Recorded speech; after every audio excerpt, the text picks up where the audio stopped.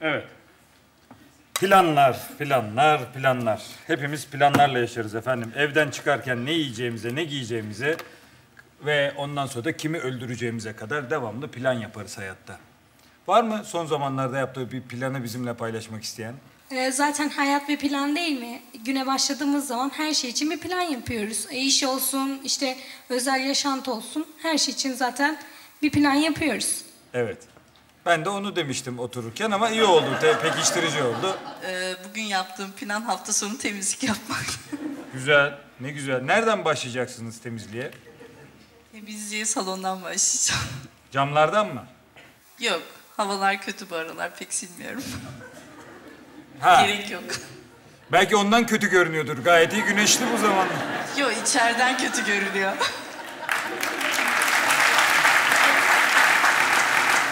Bakalım şimdi iyi bir planı ve beraberinde işleyişini bir inceleyelim. Biz nasıl ince- incelemişiz? Yalnız e, güzel, doğru ortam için bir karanlık rica edeceğim ve müzikle beraber başlıyoruz.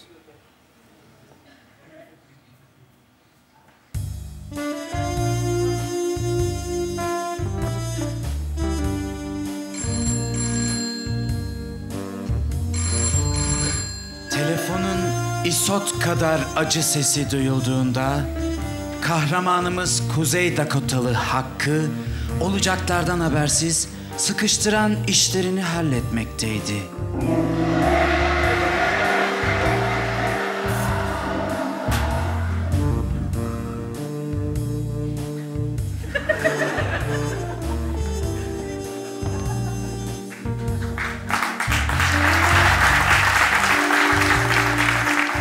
Alo. Karşısında duyduğu ses sapanla yaralanmış bir serçe gibi kırılgandı. Sizi dinliyorum bayan. Dakotalı Hakkı Dedektifçilik mi? Ta kendisi bayan. Size yardımcı olmak için her zaman hazır ve de... Nazır. Buraya gelebilir misiniz? Telefonda anlatmam sakıncalı olabilir. Bayan evleri servisimiz yok ama o sizin güzel sesinizin hatırına belki size bir kıyak geçebilirim. Adresi alayım bayan. Şengül Bakkal'ı bildiniz mi? Başına geleceklerden habersiz, belki de ömrü kadar küçük ama sevimli defterinin notlarını alıp yola koyulduğunda içinde bir sıkıntı vardı.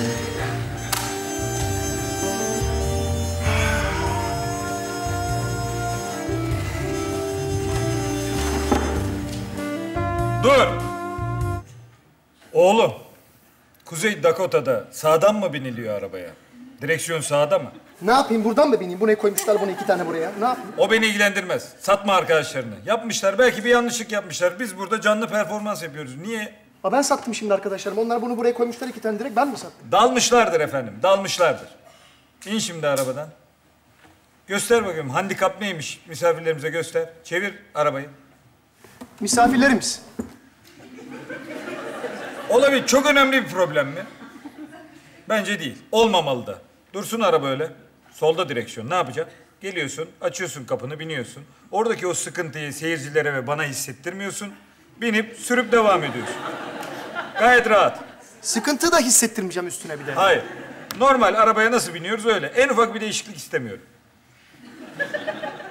Üç saniye süren var. Bir, iki, üç. Evet, alalım, başlayalım.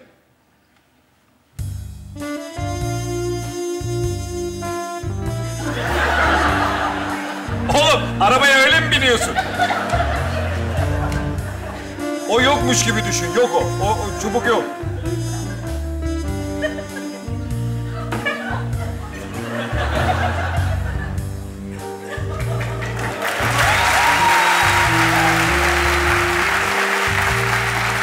Aa buradanmış kapı. Kapı buradanmış. Kapı değil, motoru. Kapı onu. Kuzey Dakota'nın soğuk sokaklarında yaşlı arabasıyla ağır ağır ilerledi. Tanrım, mısırın üzerine o suyu içmeyecektim. Tanrım bu ne gaz böyle? Arabasından inip eve doğru yürüdüğünde artık hava...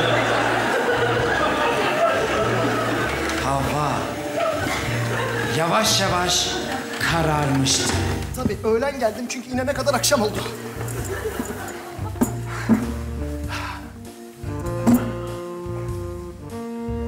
Etrafta bir valenin olmaması gerçekten çok ilginç. Güzel. Duralım. Duralım. Gel arabayı valeye bırak. Onlar park etsin. Yine mi bineceğim? Evet. Bin arabaya. İn arabadan valeye bırak arabayı. Bir, evet karartalım. Başlayalım.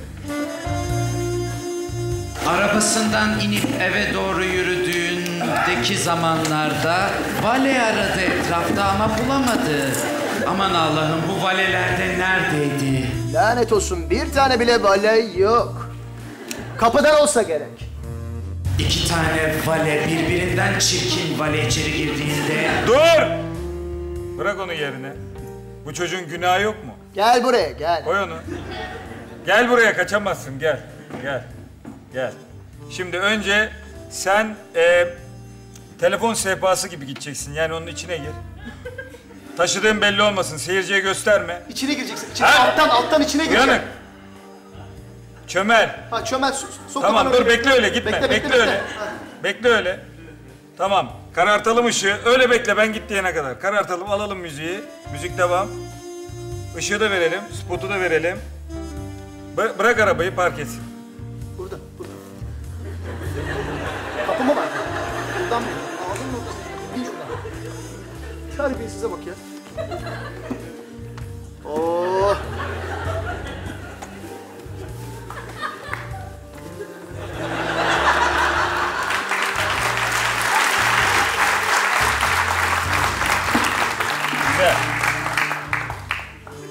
Pekala. Arabamı karizmatik ve güzel bir yere park et. Buyurun. vale arabayı karizmatik ve güzel bir yere park ederken park ederken ederken Kuzey Dakotalı Hakkı eve girdi ve onu karşılayan evin uşağı hanımını çağırmak için gittiğinde odada tamamen yalnızdı. Şahin gibi gözleri hiçbir detayı kaçırmıyordu. Tamam altın. Su içinde 1500 dolar okuturum bunu. Gözü yaşlı müşterisini başıyla selamladığında Tanrım. Kaderin ona oynayacağı oyundan habersizdi. Merhaba Hakkı Bey. Beni kırmayıp buraya kadar geldiğiniz için size minnettarım. Tanrım bayan o kadar incesiniz ki sizi kırmamak için kendimi zor tutuyorum. Lütfen bayan bana derdinizi söyleyin ve derman olmanın onurunu bana bahşedin. Ah Hakkı Bey. O kadar büyük ki bu derde ancak sizin derman olabileceğinizi söylediler. Lütfen bana doğruyu söyleyin. Ah tanrım yine şu aynı mesele. Siz güzel kadınlar ve salak kocaları olmasa...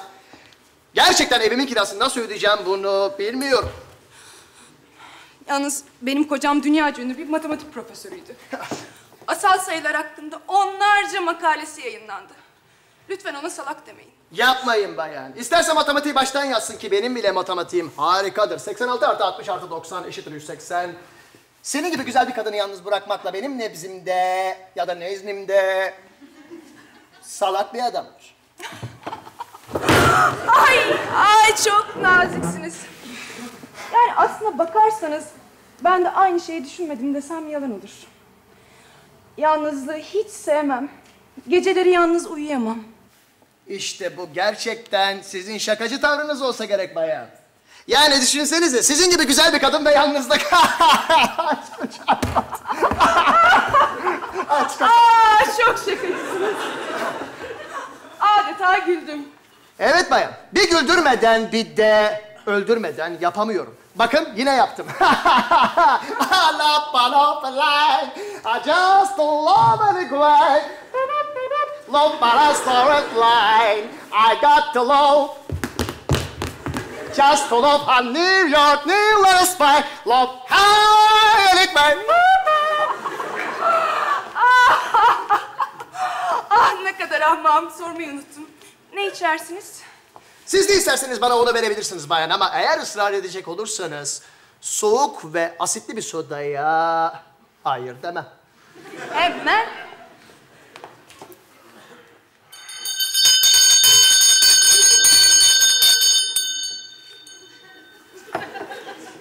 Tanrım göl manzaralı bir ev ha. Evet işte hep böyle göl manzaralı bir evim olsun istemiştim. Ancak sigortalı bir işim olmadığı için banka bana kredi vermedi ve alamadım.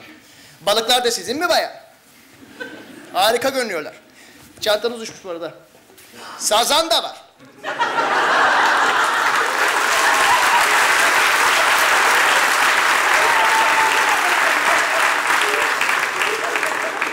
Harika bir göl, harika balıklar. İçinde aşk olmadığı süre içerisinde hepsi boş. Kocam zengin olmasa ben de böyle bir eve sahip olamazdım. Yapmayın bayan. Kocanız size sahip olmakla zenginliğin en güzelini yaşamış zaten. Maşallah altın gibi ışıl ışıl parıldıyorsunuz. Bakayım. Ha, vallahi altın. Bu göl içine 1500 dolara okuturum sizi. Hey güey, I just love you. Ama şu şakalarınız da olmasa.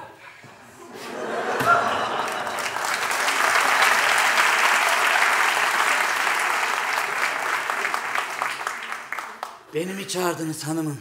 Ah, beyefendiye bir soda bana da gazoz getir. İki buzda olsun. Emredersiniz. Hanımım, kocanızı bağladım çuvala sokayım mı? Bir sorun mu var bayan? Ah önemli bir şey değil. Biz pastaneciyiz. Yukarıdan aşağı inmesi gereken bir çuval unumuz var. İsmail sen hallet. Benim misafirim var. Ama kocanız uyandı ses çıkarıyor dilini keseyim mi? Sırası mı şimdi bunun? Adam duyacak. Bayan, üzgünüm ama sanırım duymam gerekeni duydum. Demek...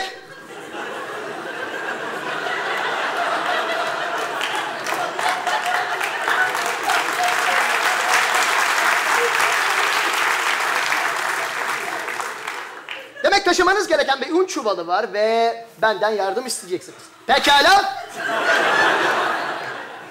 Bunu kabul ediyorum.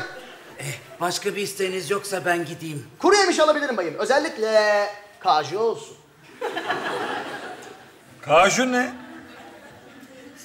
Biliyor musun? Yok bir şaka çeşidi olarak düşünüyoruz. Kaju ne? Sen biliyor musun İsmail? Evet hocam ben araştırdım kajuyu. Kaju'yu biliyoruz da kaju ne? Kaju hocam e, kuru yemiş çeşidi. Kuru yenilir. Nasıl? Şekli nasıl? Hocam düz böyle. Asıl kaju e, Karadeniz pidesi. Bugün salı. Cuma'dan bırakılıp kurutulmuş pideye Karadeniz cu, cuma, kaju pidesidir. Evet hocam öyledir. Peki niye Cuma'yı Juma J ile söylüyor? E, o da onun insanlığı bilemiyorum hocam.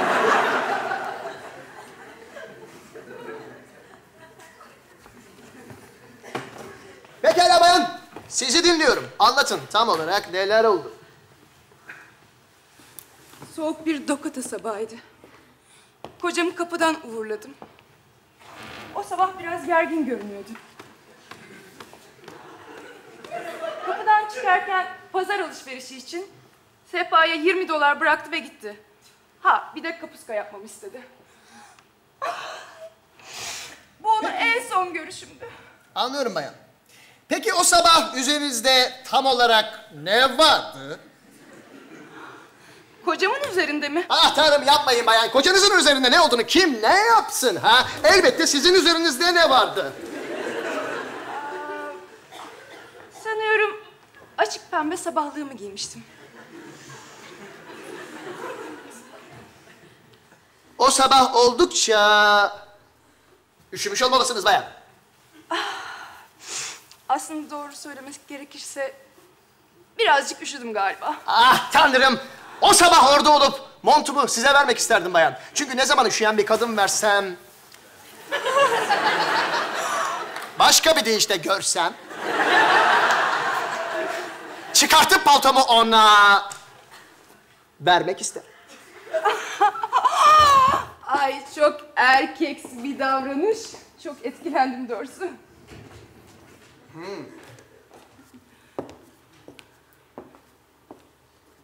Her zaman böyle çekici misiniz?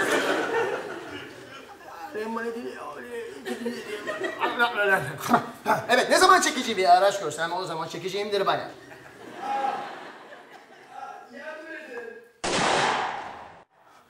Pekala, içeride olduğumu biliyorum. Ellerini başının üstüne koy ve içeri çık dostum. Ses çıkaran bendim. Ee, mutfakta bir şeyleri devirdim de.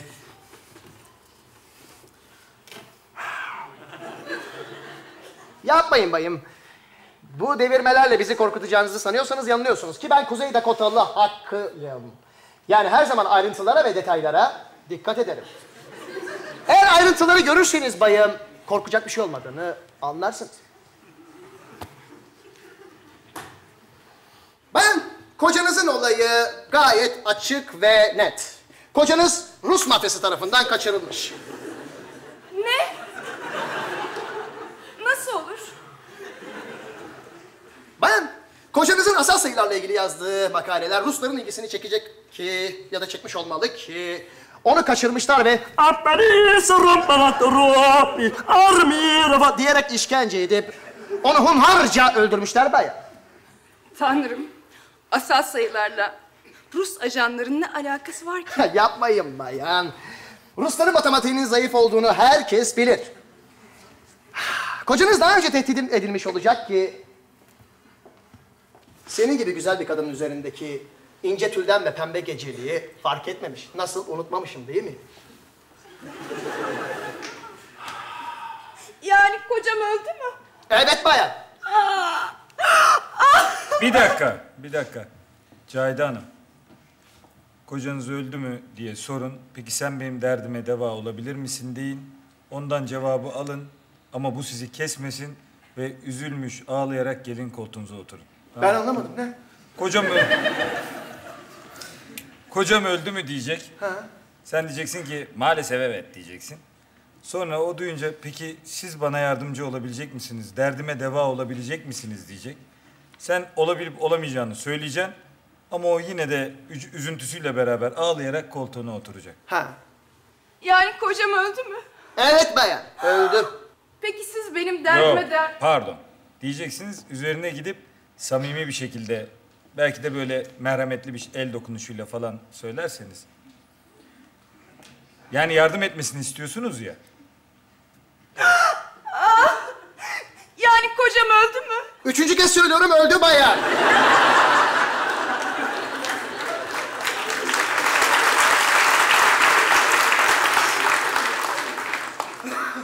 Peki siz benim derdime derman olabilecek misiniz? Hangi derdinize değman? Derdi değman dalan... dalan...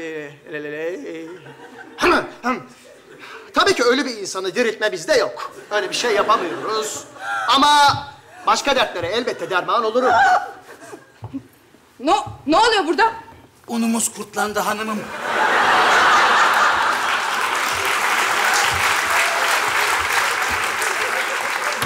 Onu hemen göle atmamız lazım.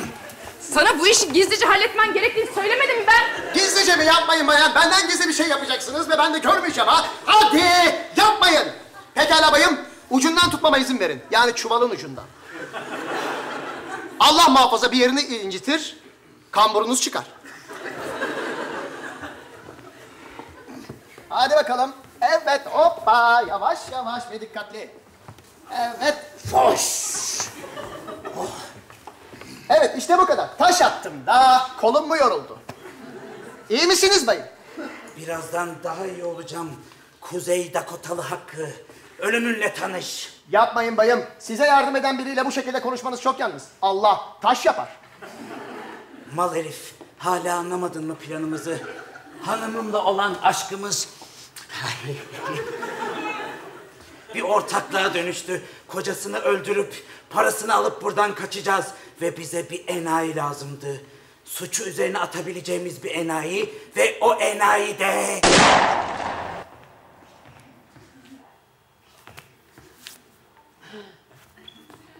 Çitlenbeyim.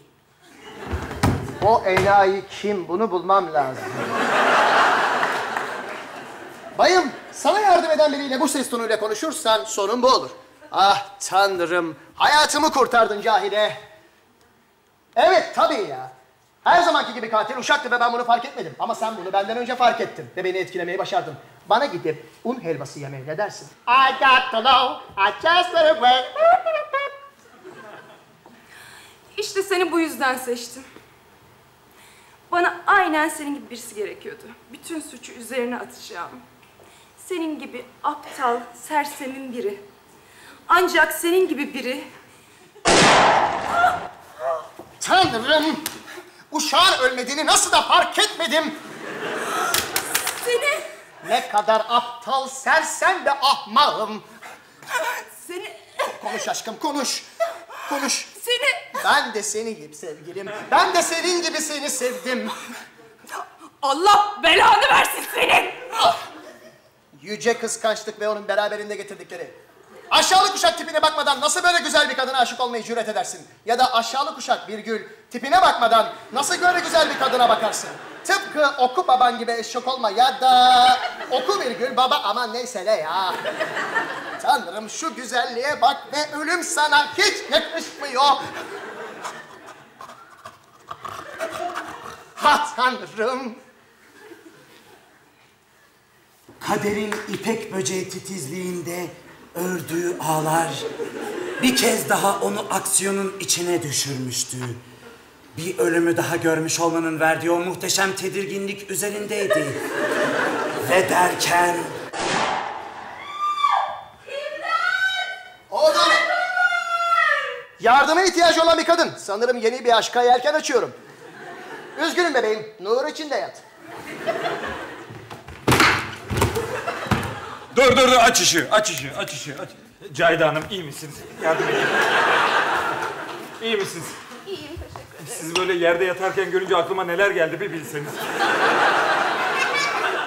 Hocam son konuşmanızı yapmayacak mısınız? Ne münasebet oğlum. Cahide Hanım düştü, fenalaşmış olabilir. Ben ona su vereceğim. Buyurun. Teşekkür Buyurun. ederim. İsmail'cim lütfen sen de benimle gel. Buradan bir yere kıpırdama vallahi. E, Gidelim hanımefendi, gidelim lütfen. Gidelim, buyurun. Gitmezsen salaksın salaksın. Thank you.